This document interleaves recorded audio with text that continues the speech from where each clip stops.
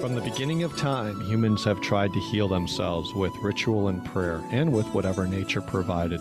Through thousands of years of trial and error, formal systems of healthcare developed, systems based on foods, herbs, and other natural remedies. These systems live side by side with what we call Western medicine. Western medicine has been an enormous benefit in helping to conquer devastating infections and perfecting surgical procedures. But there is more to medicine than doctors and hospitals, and that's exactly what we'll explore this week on A Better Way to Health. Hello, I'm Stuart Shipe, a registered pharmacist, acupuncture physician, and Chinese herbalist. I'm your host this week. We make no effort to recommend or to judge, only offer that you explore a theory that good medicine comes in many forms. So let's get started. Phone lines are open for you for questions, comments, or experiences about your health. Let's hear from you. I am so glad to be with you again on another show. Thank you very much, folks, for tuning in to A Better Way to Health. I'm Dr. Stuart Shipe, hopefully this show is going to change somebody's life as I try to do every single week. One person hearing the data that I provide on the show may ultimately lead to a healing experience, which is why I got into medicine, especially natural medicine, over the last 22 years. Thank you very much for being with us today. So, we always try and pick a topic of interest that I would have mostly for my ladies, that is mostly um, tend to be very, very common and discuss problems in why, if they have an issue, why they haven't been able to find a result or a healing for that. And a lot of times we have amazing biomedical uh, Western medicine treatments that can resolve problems uh, fairly quickly, too, with surgery. And we're going to talk a little bit about one of those issues uh, today, but sometimes it just doesn't. It doesn't resolve the problem. You continue on with the symptoms, and boy, you're just you're just kind of done. You're just fed up with having to take medications or or if you don't want to take the drugs, then what ends up happening is you just learn to live, quote, live with it, right? Who wants to live with problems when you can get rid of them? The, the issue with so many uh, disorders that I see in my practice when I see people is that there's there's two main obstacles that the individual has. One is sometimes the obstacle to realize that the issue that they're having isn't healthy, isn't normal. And th- this is very, very common with so many people thinking that the bloating and the gas doesn't everyone have gas? Doesn't everyone get bloating? Doesn't everyone get headaches? Doesn't everyone have problems sleeping every once in a while? Doesn't everyone have neck and shoulder problems or lower back? It's just the way things are. And I tell you no, because then I would be saying to you, oh my gosh, I'm not, I'm not healthy. I don't have uh, neck and shoulder pain or digestive problems, or I'm not, I'm sleeping at night. That must be bad. That, that's that's crazy, right? But the whole point is to acknowledge that the body isn't functioning adequately or optimally. The second one is if we do know that, and we know that we're not operating effectively, albeit that we're getting through the day, I can I hear these comments then I can live with it. It's not too bad. It doesn't bother me. I'm strong. I just blow right through it. Yeah, of course, but you know the problem is the symptoms don't usually get any better. They usually get worse. So that's issue number 2 is you know you have an issue or you know have a problem, but you're not want, willing to do anything about it or you're not willing to uh, to have that treated or have that process uh, improved. Those are two, those are two biggest obstacles that most people face in getting care, especially, and it's not either just Chinese medicine or natural medicine, it's Western medicine too. I have a lot of individuals that come in and say, Dr. Shipe, I do not want to take anything. I'm not going to take any of those chemicals. I'm not going to take any drugs. I'm not going to have the surgical procedure. And and I know that I've got the issue, but it's not too bad. I'm just going to live with it. I was like, well, the problem is that's going to catch up with you as well. And the Chinese have always said, why wait till the weapons, uh, why wait till the battle's already begun to forge the weapons or to dig a well after you're already thirsty? It's kind of too late. And what we're going to talk about today, I know you're dying to learn what we're going to talk about today, but what we're going to talk about, discuss is that this imbalance occurs over years and years, and sometimes it occurs without symptom. But man, when you get the symptom, when it finally comes, which in America, we really think that symptoms are the very first stage of an imbalance. Like we're healthy and then we have symptoms and then we're not healthy anymore. no, not, not at all, actually. Factually, we start malfunctioning for sometimes many, many, many years. Our body is an amazing compensatory mechanism that tries to always maintain what they call homeostasis, maintain this balance in the environment, in its environment. And despite what we're trying to do to it, the body tries to maintain a sense of, of stabilized sickness, if I could say it that way, but we literally start losing this optimum function. And when the Chinese say the energy or the blood becomes stuck or stagnant, we've already fallen from health. This could be things like bloating. This could be indigestion, not getting a good night's sleep, not having hot hands, uh, warm hands and warm feet, not having a cool face and chest, not having a good bowel movement every single day, uh, appetite that's off. All of these are variants of that function, actually a malfunctioning of the body, and it's already exposing that to us. By the time we get to symptomology, things have really gotten bad. And that's when you have people that that just miraculously they might have a little bit of back problem. They go in for an X-ray or an MRI more likely, and the MRI all of a sudden demonstrates, wow, you've got a tumor on your kidney and it's cancerous, and now you've got three months to live or whatever. So they never knew they had the problem. I've I've seen diabetics in my practice that never knew they had diabetes rooted that out you know cancer issues hypertension never knew they had high blood pressure until they had it checked out in some way so this functioning is also really really important um, to maintain balance over long periods of time over years. So what i wanted to talk about today is gallstones. Oh my gosh. You know and most why do I not see a lot of gallstones in my practice? You'd think I'd be swarmed with people because after I get done showing you this or uh, telling you this data today, this information, you're like, oh, like the VA commercial. Oh, I could have had the VA. Oh, I could have had acupuncture, Chinese herbal medicine, didn't have to go through all of that hassle and all that problem. But the reason I don't is because more than 300,000, uh, well, that's the least estimate, probably I would think even closer to getting up to half of a million people, but for sure 300,000 was the last stat I seen. Gallbladders are removed each year in the United States due to the presence of gallstones. And when you look at 20 million people, 20% of the women, women and 8% of men over the age of 40 have gallstones. They don't know it, but they have gallstones that are pending, that are in the gallbladder waiting to come out. But the problem is they've developed such a size, they're not coming out fairly easily.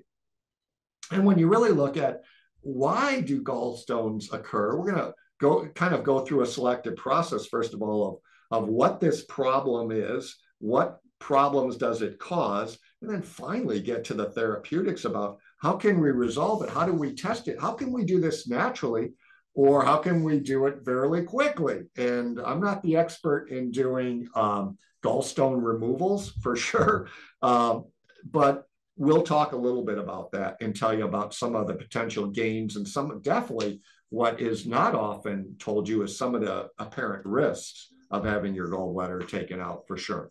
So, you know, when we say that a lot of people in the United States, uh, more than half a million maybe, um, have had surgery, I mean, uh, have had stones, gallstone. Um, these gallbladders really are, are pretty resilient. Uh, the most common triggers for this, for gallbladder attacks, are things like caffeine or chocolate, or some of your higher cholesterol products, eggs or dairy products, especially ice cream, and greasy or deep fried foods. But if you think that it's that gallstone formation is only limited to those individuals that are obese or overweight, or maybe that um, have a high diet of, of cholesterol or of fatty fatty foods or, or fat, you're actually mistaken because it pretty much can occur in any individual. There are so many risk factors for the development of that. But man, when you get this, start these symptoms like upper right uh, quadrant abdominal discomfort. So when you're looking down at your feet and you go to the right side, right tucked up underneath your rib cage there is the liver and the gallbladder. And so when that area starts becoming achy, associated sometimes with things like chest pain or neck pain, back pain, um, you may actually have the very first start not a full-blown gallbladder attack, but that gallbladder is letting you know that it's not operating optimally. And the most treatment, uh, the most common treatment for that is, of course, surgery. 10% though of patients that come out of surgery uh, with stones have gallstones still remaining in the bile duct. And the bile duct is what actually goes from, we have a common bile duct coming from the liver, dumping all that cholesterol, bile, bile salts that's been manufactured in the liver and coming down that common bile tract. And the gallbladder is an offshoot. It has a little um, called the bile duct that actually dumps into this common bile duct and comes out into the digestive system near the duodenal area or the duodenum, the upper portion of the small intestine. So when we do eat fats or we have foods that are high in a fat content, that cholesterol with its bile releasing that, secreting that into the upper portion of the small intestine helps what we call emulsify fats or breaks down fats. So you can see if you're eating a fairly large fat diet, and most gallbladder attacks usually will occur after a large meal. You're eating a lot of fats, and the and the gallbladder can't take care of that emulsification process. And we have a whole cascade of problems that start developing, like rancidity and putrefaction and fermentation and all these byproducts of inadequate digestion start to occur. But if we're kind of limit this conversation to just fats, it would kind of make sense that if we can't break down fats, we're going to have problems anyway. Um, so the complications of uh, laparoscopy which is laparoscopy is, is the process of using a lot of these robotics, new surgical robotics tools cholecystectomy. And this cholecystectomy is kind of a, um, it's where they literally will go in robotically and they can snip and remove the gallbladder and take it right out of the body. Now, the complications are rarely infrequent, but you can have things like bleeding or infection, uh, developing pneumonia, blood clots, heart problems, and maybe even unintended injury uh, can occur to adjacent structures like the common bile duct or the duodenum. So if that happens, you might even have bile that uh, leaks out into the abdominal area from the, from the tubular channels that lead, you know, from the liver to the intestine. But anyway, so there's complications. It's not just simply I'm just going to have my gallbladder taken out, but a lot of individuals do. Before that, a common treatment plan might be in conventional medicine, try and dissolve the stones. There's Chenix, there's Actigall, there's MTBE, there's a lot of medications that are designed to try and dissolve the gallstones so we don't literally have to take out the gallbladder. Here's the issue that I hear even from some of the physicians that I've talked to in Western medicine is the fact they say, by the time we get it, by a surgeon, by the time we get it, the gallbladder is just about ready to fall apart or dissolve, or it's so infected or it's so inflamed. You, you lose the option, you lose the choice about just trying to resolve the stones. And a lot of people, like I said, if your first symptom is a gallbladder attack, you may be in trouble because if that gallstone, which has increased in size over a period of time, has gotten so large that it can't leave the gallbladder, and maybe if it has left the gallbladder, it is so large that it gets trapped in that common bile duct. Now you got problems. Now you're looking at instantaneous surgery because you're going to have backup bile uh, back up into the liver. You're going to start having liver congestion, uh, infection develop, and it has to come out. That's way, that's water way beyond the bridge that we should have never ventured down because we're not actually finding out if the function of the gallbladder in the liver is in perfect balance. And the Chinese have ways to detect that way years before you start having gallbladder issues or the risk of having to have it removed. But the drugs they even only work on smaller cholesterol stones, and they can cause things like diarrhea or liver injuries, or they raise the plasma levels of cholesterol really high. You can get nausea, pain, fever. There's a lot of stuff that could be complications too from medication therapy. So that's not always a win win. A major concern, like I said, is if the stone becomes too big, it, it can get stuck on the way up. So traditional Chinese medicine we have a couple of, of great things, and we'll, we'll come back to this um, over and over again. But traditional Chinese medicine uses a lot of great herbs that tend to dissolve and to soften crushed stones. Now you're going to say, well, then why hasn't that hit the Western market? Why don't we know about that in Western medicine? If this is such a great treatment, why don't we just get these herbs and use these herbs for people with gallstones? The problem with it is that they crush and soften the stones so they come out very, very slowly. Well, who wants to wait months and months for gallbladder treatment, or even for that matter, years and years? You know, that's not the American way. I want it done now. I want the problem resolved immediately, and I don't want to wait around for it. So, Chinese medicine, in order to have this happen, does have to have some time. And that takes a relatively long time for these stones to start getting smaller. The beautiful thing is there's no side effects. And there's another treatment, even, which is amazing, called moxibustion.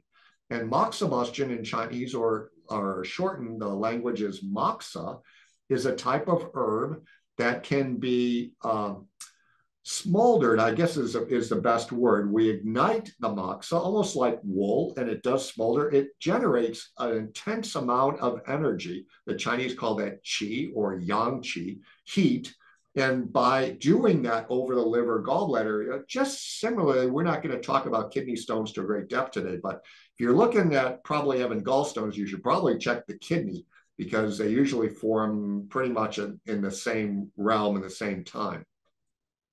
That uh, we can use a moxa to dilate that common bile tract to release that stone and let the stone flow freely into the digestive system. So there's specific protocols. And if we have time at the end of the show, I'll, I'll give you the protocols on the beginning of intestinal cleaning. And I know there's a lot of people that have already that are into the holistic medicine view and say, I know all about the mixing with like uh, lemon juice or some sort of uh, citric juice and clay and using psyllium and, and using olive oil. I'm, I, I refrain from giving a lot of the specifics because people, if they do have gallstones that they've already recognized or had diagnosed, and they're in that transition period about what to do, I'm telling you folks, if you do this, these type of cleansings on your own, there can be some danger involved in that. Danger meaning that if you do not know what you're doing and you flush a lot of stones, especially bigger stones in that common bile tract, you not might not have the option, even if with my support of continuing to do natural remedies to try and release that stone, you might be on your way to the hospital to have that stone removed through removal of the gallbladder. Because a lot of docs will not just take the stones or lithotripsy, which is a procedure of like uh, ultrasound, uh, using ultrasound to kind of like break up through vibrational energy, break up the stones in the, the gallbladder they might not do that. It's just easy. Just take the gallbladder out. Stones come out with problem solved, right? Problem is, here I get people after they've had their gallbladder out to my office seeking care for what? For recurrent reflux, nausea, uh, diarrhea. And I was like, wow, that really looks like a gallbladder issue. Yeah, well, it can't be because I had my gallbladder out, is the response. And I was like, so sad for you because you don't have a program in the body. There's not a button you push on the body that says reprogram our strategic balance between liver, gallbladder, kidneys, restructure that because now we no longer have a gallbladder. Your body still thinks it has a gallbladder that's not functioning adequately. And thank goodness they can't take the gallbladder meridian or the energy channel out of the body in Chinese medicine because it's physically not there. But it's a way that we can still access gallbladder function, even if the gallbladder is not there. And I know that's even sometimes hard to believe. You've heard amazing stories, probably, of amputees. I've had a couple in my career of coming in and not having maybe uh, they had a below knee amputation on the right foot. And they said, Dr. Shipe, my right toe is killing me. And I was like, Your right toe, sir, you don't have a right toe. And they're like, I'm telling you, my right toe, they call it phantom pain. And using the meridian system still in Chinese medicine, you can resolve that issue. You can resolve the pain. Same thing with the gallbladders. We actually have a meridian that goes directly to the gallbladder. And if you really want to know if there's potentially stone formation or you have an inflamed gallbladder, there's actually a gallbladder point, a specific acupuncture point on the gallbladder meridian that will release that gallstone. Or actually tell me by pressing on it in significant response from the recipient of that pressure that, whoa, that's extremely sensitive and that's really powerful. What did you just hit? It just hit just like put a poker pain on my point. And I was like, nope, I just pushed it. So there's a lot of ways diagnostically that Chinese medicine using the tongue, using the pulse, using the eyes, using the ears, using the meridian system that we can actually diagnose if you have gallbladder issues years before Western medicine will even find a gallstone developing in your gallbladder. Because, see, gallstones don't just develop as big gallstones, they develop as what we would call grit or gravel. Very, very tiny little fragments of cholesterol and bile salts that have become hypersaturated and develop into crystallization. So, at that point, you've already fallen from balance, and the gallbladder will already start sending out its signaling that it's not healthy and it needs support or it needs recovery. Uh, there are there are many uh, guides. There's probably make your head spin as far as many protocols that I've even come across as far, far as flushing procedures. But I will say that when the gallbladder problems exist, the gallbladder can't contract efficiently. And that starts developing problems because there's stones, even if you are fairly proficient at clearing stones, you have to know that there's protocols and procedures that maybe the stones from the front of the gallbladder nearest the common bile duct will come out first. But you may have stones from the back area of the gallbladder that will either one move slowly forward or two actually become stuck or stagnant. And those have to be loosened. So there's a time space, almost like a pulsed dosing therapy uh, that we have with things like intestinal microbes or parasites, where we have to have multiple treatments over set intervals to kind of promote this function back to optimal uh, optimal levels. And that could be, oh my gosh, three flushes, four flushes. That could be repeated monthly. That could be repeated weekly. That could be repeated a couple of months later. So there's a lot of different protocols that have to be followed. And, and how do I judge which protocol? The individual sitting in front of me. What's most likely to be the best treatment for them? Because if you start applying gallbladder flushes to everyone, you're going to start running into problems. I mean, even some individuals using uh, how do you use Epsom salts? How do you use Chinese bitters? How do you use liver uh, liver supple- supplements or liver support?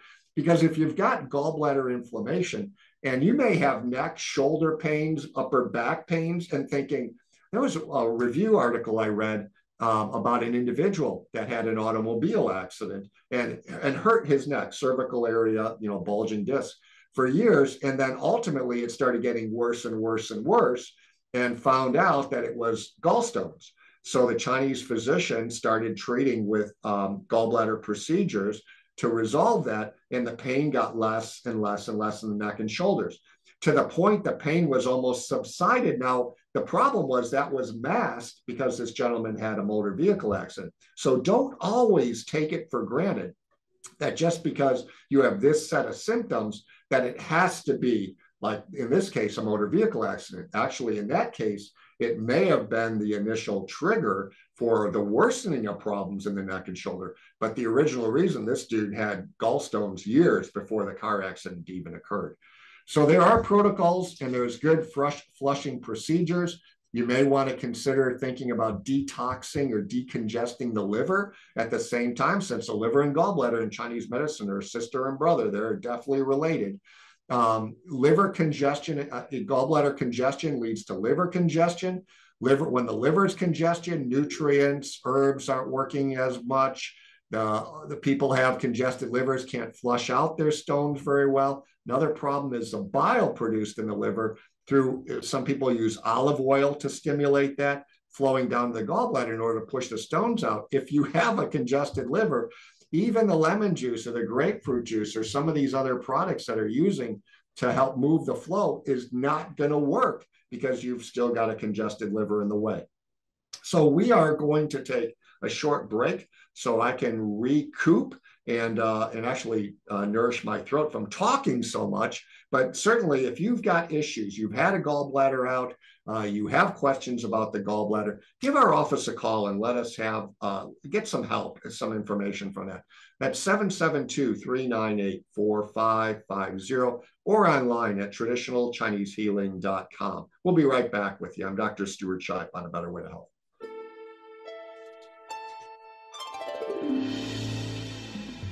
You're listening to A Better Way to Health with me, Dr. Stuart Shipe, lead physician at Women's Traditional Chinese Healing. To book your consultation, please call 772 398 4550 or book online at traditionalchinesehealing.com. Ladies, your time has come. No longer will you be a slave to drugs, sleeping pills to put you out, caffeine to wake you up, pills to ease your pain, hormones to regulate your cycle, addictive drugs to calm your anxiety, and antidepressants to lift your mood. Find the root cause of your imbalance and quit treating only the symptoms. You deserve so much more out of life. Women's Traditional Chinese Healing was created for you. Welcome to A Better Way to Health. Our experienced physicians listen to your concerns and formulate an individualized treatment approach to bring you back into balance. We specialize in women's natural health care. When was the last time you really felt amazing? If you don't remember, let us help you refresh your memory. I invite you to contact our office for a consultation with our physicians to determine if you are a good candidate for what we have to offer. Call 772 398 4550 or online at traditionalchinesehealing.com. That's 772 398 4550 or traditionalchinesehealing.com. Thanks for listening to A Better Way to Health. I'm Dr. Stuart Shipe, founder and lead physician at Women's Traditional Chinese Healing. We're a unique natural healing haven for women of all ages. Like many women today, you might feel like you're battling your body, struggling with fatigue, headaches, sleeplessness, pain, hormonal imbalances, digestive issues, allergies, and those few stubborn pounds you've put on. Western medicine often ignores the root cause of your symptoms, but at Women's Traditional Chinese Healing, we work together to get to the source of your symptoms and bring your body's function back so that you feel energized, comfortable, and balanced. If you're wondering if my practice is a good fit for you, I invite you to book a consultation by calling 772 398 4550 or online at traditionalchinesehealing.com. Again, that's 772 398 4550 or online at traditionalchinesehealing.com.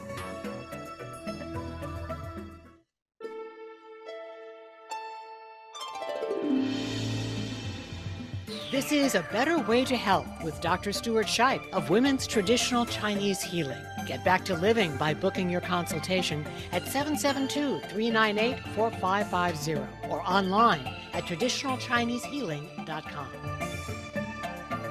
All right, we are back to a better way to health. Thank you very much, folks, for tuning in and staying with us here as we discuss how to get rid of gallstones and how to look at um, this gallbladder liver uh, balance years in advance to try and prevent the formation of the stones. You know, I uh, gave you probably a very short uh, a stint about symptoms, you know, gallstone or gallbladder problems when we first began. I probably should, you know, elaborate elaborate on that as well. Um, you know, gallstones can be, they are a chemical disturbance, faulty diet, liver sluggish, liver toxicity, gallbladder stagnation, or bile stagnation is a result of a, of a sluggish liver. But some of the risk factors that I didn't go over included things like sex, maybe, four to one over women over men, which is pretty significant for development of gallstones. Actually, it's two to four times greater in women than in men. So, although women are thought to be predisposed to gallstones because either increased cholesterol synthesis or suppression of the bile acids by estrogens, pregnancy, oral contraceptives, they can all uh, cause elevated, even elevated uh, estrogen levels can greatly increase the incidence of gallstones. So, look, ladies, if you have that going on, taking oral contraceptives, uh, pregnancy, like I said, or uh, taking estrogen, bioidentical hormone therapy, you may be more likely to development of cholesterol. You know what's kind of interesting is how everything kind of comes together uh, when I look at issues uh, relating to liver and gallbladder. And what I mean by that is that if we know that the problem with gallstones is this super saturation of cholesterol and bile salts coming out of the liver, that's where they're manufactured, but get stored in the bile. If we're bile super saturated, then one of the, the things that we should start thinking about is how do we not only get the bile out in Western medicine, in um, in herbal medicine, we would call that a cholagogue, an herb that would help move the bile out of the gallbladder into the intestine. And there's there's a couple of great ones, you know, globe artichoke, nettles, dandelion, um, are all good herbs that can help with that. Beet leaves, uh, beet greens. Uh, so I said, and also um, um uh, radish, Spanish black radish, great ways to try and start moving this bile. But once the bile is out in the intestinal system, here's a problem is that bile is reabsorbed. 90, 95% of all secreted bile is reabsorbed in the, the later end of the small intestine before it goes into large intestine. And that goes into the portal system, which is a, a blood system that returns blood from the intestines back to the liver again. So if bile is being reabsorbed and the liver is actually still manufacturing bile, we have bile overload. And one of the things, I'll just lay that on the table really quickly, is we need to start thinking about how we can increase fiber, which would be pretty much the number one treatment strategy naturally, is Americans just don't put down enough fiber in their foods. And there's a ton of fiber in green leafy veggies. Well, they're not eating a lot of green leafy veggies. There's a lot of fiber in fruits. They're not eating a lot of fruits. And when you start eating a diet highly processed, you're really stripping out a lot of the fiber, even with breads and cereals. Very, very little fiber because they're not whole anymore. The bran and the germ are, have been removed from a lot of these grains. So that's the very first thing to start thinking about is if I get the bile out, I got to get it out, out. It has to be defecated out. And that usually fiber is a great medium at which traps that psyllium works really, really well. There's a, a bunch of, of beautiful natural fibers, oh, bile and uh, sequester bile so that it moves out of the digestive system. Now, there's drugs like that too, bile sequestering agents, they call them. And, uh, but oh my gosh, why would I need, why would I put another drug in the body when I can do it so beautifully and so naturally with a simple herb or simple nutrition? So, this is another comment that is kind of off the cuff, but I do want to bring this out. A lot of individuals come to me for high cholesterol high LDL, low HDL levels, and high triglyceride levels. The triglycerides, hands down, they're pretty pretty destructive to the, the blood vessels. And uh, hands down, they're actually an inflammatory uh, possibility in and of itself. But that's a whole nother discussion, even with blood sugar. What I wanted to talk about is the cholesterol. So, if the liver is responsible for maintaining a balance of cholesterol levels in the body, and you have high cholesterol level, that means the body is not shutting down the mechanism, right, for continually producing cholesterol, bile and bile salts. There's something that's stopping that trigger from uh, shutting that uh, that metabolism down. Oh my gosh, that could be a lot of chemicals, food additives, emulsifiers, MSG. There's a lot of different products that will cause that signaling to go awry. But if the body's not breaking that down, people come to me and say, Dr. Shipe, how can I get my, my cholesterol, my LDL levels down? Uh, because I know it's causing damage and, and I'm going to be placed on a statin drug. And the only thing that statin drug really does, to tell you the truth, it just really shuts down the manufacture of cholesterol by stopping that enzyme that actually creates that to happen. Yeah, there's a better way. So if you've got a blockage or a buildup, uh, even to the extent of a thrombus, they call this atherosclerosis or atherosclerotic heart disease, where the vessels are becoming sclerosed or weakened because you have this hyper cholesterol uh, flow in the body and it's literally has built a blockage in the vessel. Start thinking about how could i naturally if it builds itself can't it just dissolve itself as well yeah well western medicine doesn't do this they go in and sometimes it's necessary to remove that blockage and put in a stent but I start thinking about things like, yes, of course. How can you start the dissolution process? See, bile is fairly insoluble in a water medium. It's it's in a an oily medium that it does a very good job in a fat medium. So in order to uh, to have bile soluble enough to get it out of the system, we have to use things like bile salts, phosphatidylcholine, or, and a big part of that is lecithin, right? Lecithin I use from soybeans, more organic soybeans have a ton of lecithin. And then you can get it more water liking or actually try and get out into the system more water soluble.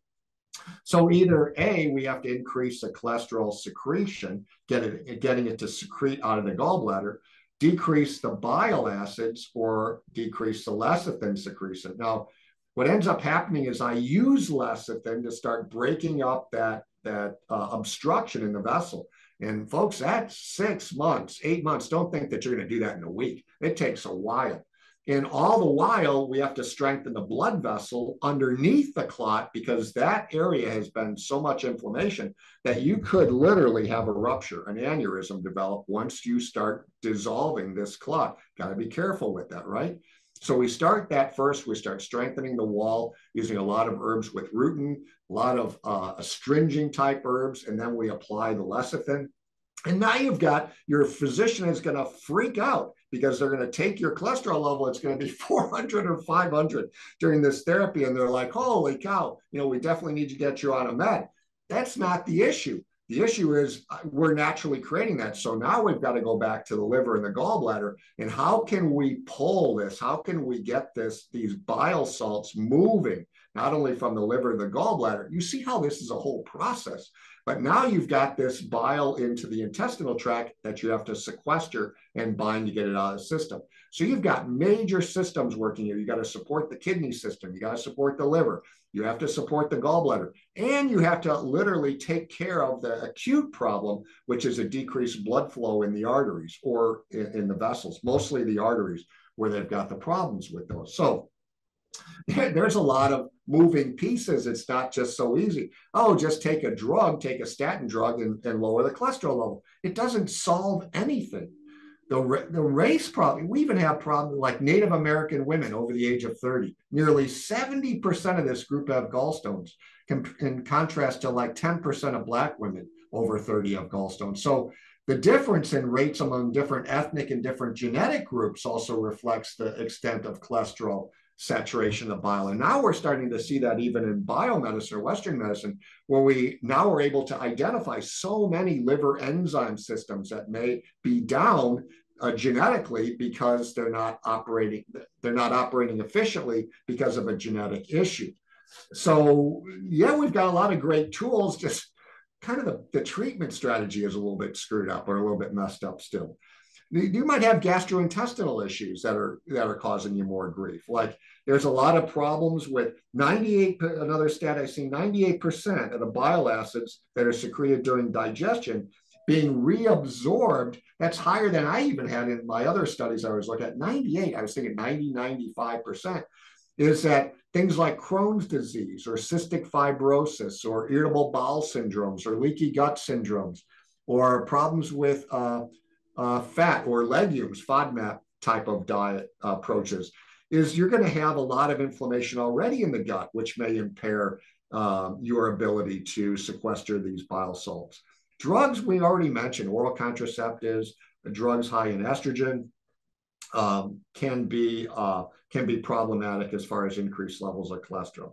And then as we get older, of course, the average patient for gallstones 40 to 50 years old. And as we get uh, higher with age, of course, the gallstone incidence uh, gets higher and higher as well. It probably takes about eight years from the time, from a couple of millimeters, maybe one to two millimeters, where we can finally pick them up on either an ultrasound. That's kind of old school. We're using CT now. Pick up that uh, gallstone in its infancy and start treatment right away. The problem is over that probably about average of eight years period of time, this stone gets big and they can get like centimeters, you know, 10 millimeters uh, into one centimeter. And when you get stones that big, they ain't coming out. You literally, you may move stones fairly easily in the millimeter range, but when they start getting into the centimeter range, pretty big stones, and that's where you have to be a little bit more um, relatively aggressive with conservation, not to cause problems. Like I said, getting something stuck in that uh, bile tract. So silent gallstones are uh, are a real problem is a lot of elective gallbladder surgery is really not warranted. These are silent problems. You know, they're silent meaning there's people are symptom free. They have gallstones, but they're not having symptoms. And there is a maybe a chance of developing symptoms, maybe 10%, maybe at five years, 15%, the stat at 10 years, or 18% at 15 years. But if you look at the controllable risk factors, you can't control your age, you can't control significant or severe obesity, because as you lose weight, I, I told you initially that it's not always people that are obese, but as you lose weight, your bile becomes more and more saturated. So, especially with uh, fairly quick weight loss, I've seen some of these stuff on television where they're losing like 40 pounds in a month, or it's very dangerous, folks, to be losing that much uh, weight uh, very quickly. One is it's a reset mechanisms of the body. You didn't get that way just in a matter of one month. And so healthy weight loss, I know no one's going to like that when I say that, but a pound to two pounds a week, very, very healthy weight loss. And when you start drastically uh, doing things to your body, it will revolt. And in many ways, that's the last thing you want is really kidney stones or gallstones to develop when you're trying to get your body back in health. Dietary fiber, you know, in, in population studies, Gallstones are definitely associated with the Western diet. So we have a high refined carbohydrate diet, we got high fat, low fiber, and that leads to a reduction in, in the synthesis of bile, bile acids by the liver and lower bile acid concentration in the gallbladder. Not, not really good stuff when you're looking at trying to prevent the formation of gallstones. So the other thing that we can kind of think of is if we're not eating a lot of fruits and vegetables, vegetables like the pectin and the oat bran and the guar gums and some of these products, apples are amazing. You know, there's actually an apple gallbladder flush of, of using apple, the juice from the apple, that can be very, very effective. The malic acid in apples in high, high concentrations can also dissolve gallstones. Interestingly, diets rich in legumes like beans with high concentrations of fiber is associated with an increased risk for gallstones. So, so you don't want to make the problem worse by eating foods that may be contributing to that. And if you really look at things like uh, the Chileans, uh, the Pima Indians, other North American Indians have high prevalence rates for cholesterol gallstones because they've got a diet rich in legumes and beans. So we should really curtail that in individuals that already have gallstones, right? That would be a no no as far as on your diet list.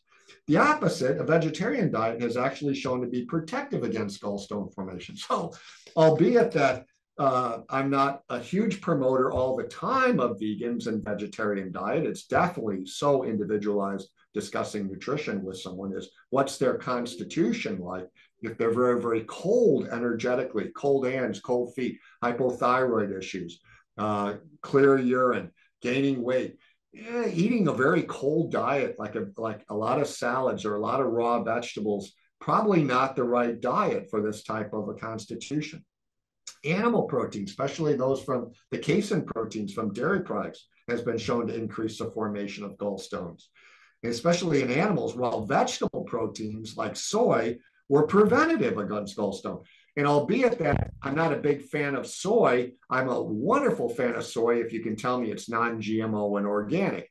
Because 90, I don't know, last maybe statistic 90, 95% of all soy seeds in the United States controlled by Monsanto, soybean that, you know, when you're eating, when you're literally using sterile seeds and you have to buy them every year from Monsanto as a farmer, the likelihood that you're going to spend a lot more money to try and use organic farming is unlikely. So most of the soy in the United States is genetically manipulated and uh, highly allergenic. I see a lot of these uh, tests coming back, food sensitivity tests like IgG levels showing sensitivity to soy and wheat because of these um, uh, this type of problem, genetically modifying our foods. High intake of refined sugar, risk factor for gallstones, and uh, caloric restriction. So even people with gallstones that tend to consume a lot of calories, as a result of the increased in, intake of sugar in women and fat in men, that causes problems as well. So a low glycemic diet is recommended for most individuals, either whether you're starting uh, to handle blood sugar or you want to start for weight loss or increase energy, it's always a good idea to get processed foods out of the diet and start to uh, trend toward more like a Mediterranean diet or a lower glycemic diet. Coffee induces gallbladder contraction. So if you already got gallstones, it's probably best to avoid coffee until the gallstones are, res- are resolved. And coffee, chocolate, spicy foods, a drug called theophylline, all weaken what we call the sphincter, the stomach sphincter, the cardiac sphincter. That's right at the end of the, the mouth tube, the esophagus that goes in the stomach. It weakens that. And what's most of the symptom of gallbladder issues? People have reflux or indigestion, bloating, gas, neck and shoulder uh, pains. Those are all insomnia, headaches. These are all gallbladder symptoms. And it doesn't really matter if the coffee is decaffeinated. And I said, why, why is that going on? And I kind of look at coffee. If you pour a cup of coffee and kind of get down and look at the surface level of the coffee, you're going to see there's kind of a film floating on the coffee. That's an oil. And if I guess if Juan Carlo were to make green coffee bean tea, you know, and take the coffee beans right off the plant, smash them, put boiling hot water over them, and kind of steep coffee tea, I, I guess I wouldn't have a problem with that. Natural oils, but when you start roasting things and and letting the oils uh, exposed to oxygen for enough period of time or sunlight, you start rancidifying those oils. So Coffee then turns into a rancidified beverage, an oily rancidified beverage. And I don't know if that's too healthy for the liver uh, function. And I, like it says, it doesn't even matter if there's the caffeine. So caffeine might not be a big player, but certainly in the stomach it could be. And a low lecithin concentration in the bile uh, may be a causative factor for a lot of individuals with gallstones. So so studies actually shown that taking as little as 100 milligrams of lecithin three times a day will increase the concentration of lecithin in the bile, while larger doses produce even greater effects. And if you got lecithin going on, now you got dissolution or breaking up of these bile bile salts and and uh, bile, uh, causing the, the the gallbladder liver to be better secretors of this bile into the intestinal system. And then nutrient deficiencies. You never think of this stuff. Vitamin E, vitamin C uh, have been shown to cause gallstones in some experimental in animals. So vitamin C supplementation actually shown to produce positive effects on bile composition. And it's a great antioxidant, but it's not ascorbic acid. So when I say I mentioned this multiple times on shows is that vitamin C 500 milligrams is not natural. It's not the whole vitamin C product. It's not the whole vitamin of vitamin C. You're kind of just getting ascorbic acid. You're kind of just getting the banana peel and you ain't getting the banana. And I'd rather have you get the whole banana. So when you're using high, high doses of vitamin C or synthetic vitamin E and not using natural whole forms of these vitamins, you may have trouble in other realms. Now, of course, fish liver oil supplementation has been shown to be a benefit. You think, well, that's a fat. That should probably make problems worse. The thing is that a lot of these diets high in uh, uh, uh, omega 3 fatty acids and these really beautiful oils are anti-inflammatory in nature as well. So you get more of a benefit than just uh, protective effect against gallstones. So there's other stuff. I mean, there's so many great Chinese herbal medicines and uh, like I had mentioned, milk thistle is amazing for the liver, probably the king of the liver herbs or queen if you want to use it in that direction. Uh, dandelion and artichokes and turmeric and, and boldo. These are some of the herbal choleretics that offer the greatest benefit as far as moving bile, bile salts, cholesterol out of the liver, helping the hepatocyte, helping the actual liver cell recover its function and regain function. That's the amazing activity of milk thistle. It actually helps at an energetic level, uh, starts helping that cell take a dead liver cell and turn it back on. It's the only, only herb that I know of in all of my apothecary that I know can actually do that in a liver cell is take a dead liver cell and turn it back on. So then you've got uh, a lot of I'm not going to go back and mention uh, stuff that we've already had in Western medicine, but the dissolution of gallstones is really the way to go. Sunbathing, a study of 206 white skinned individuals, since we're in Florida, people who like to sunbathe had twice the risk of getting gallstones than those who did not like to sunbathe. the association was almost entirely restricted to those who always burn after long sunbathing. Sunbathing. Again, I think this might be maybe a genetic predisposition. Maybe that might be a Northern European or a European descent, where we might have, uh, you know, a higher level. I, I'm not. I didn't dive into it that deep. But listen, the whole point, folks, is that there's a ton of stuff that can be done naturally to help you before you have problems. But the only way that you need, you know that you need help is if you get your body checked out. So get your body checked out. Either call my office 772 398 4550 or literally online at traditionalchinesehealing.com and literally uh, get you in for a consultation. If it has to be virtual, I'll do it virtual for you if you can't make it to the office here. And let's go through some of these risk factors and let me hear your story. If your story looks like there may be something brewing, gallbladder, liver issues, kidney issues, I'll tell you directly. And I was like, I think this is a good opportunity for you. And I think natural medicine might be your answer. If I hear the story otherwise, that you're having acute attacks, it may be referrals to the Western biomedical physician for evaluation in that department. So always, you got to check out what's going on. And if you don't really understand your body's function as I described it today, let me educate you. Let me show you how the system is supposed to function so that really when it when you start having symptomology, you're not thinking, oh, I have neck pain or shoulder pain, and oh, maybe good massage or or maybe good as an adjustment.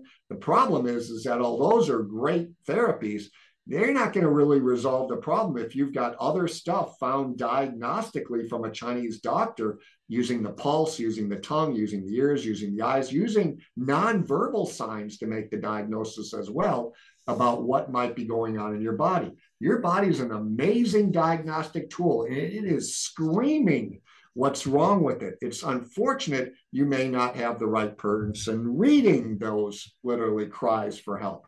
But if you are one that has had gallbladder issues in the past, still have your gallbladder and want an effective treatment strategy, oh, you're in the right place listening to this show at this time. If you're looking to prevent gallstones, you're at the right place at the right time because you do not want them even developing. Like I told you, the silent ones that we talked about before. So get in and get that consultation. It's easy. Just click on I want a consultation on the website.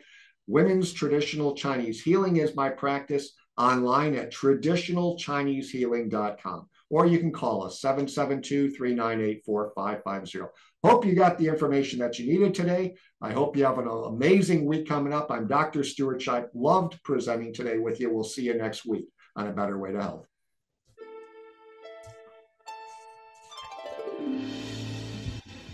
Thanks for listening to A Better Way to Health. Discover health, wellness, and healing by booking your consultation with Dr. Shipe. Call 772 398 4550 or book online at traditionalchinesehealing.com.